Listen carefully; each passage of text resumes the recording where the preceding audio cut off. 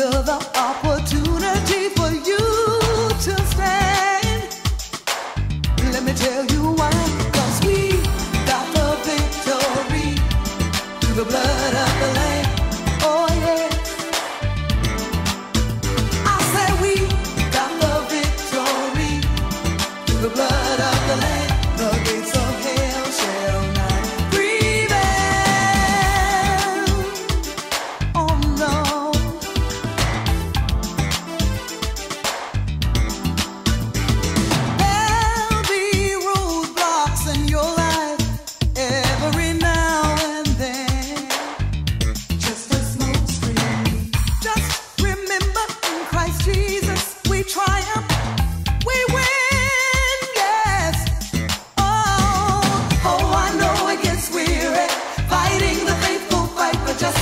strong in the Lord and in the power of his might.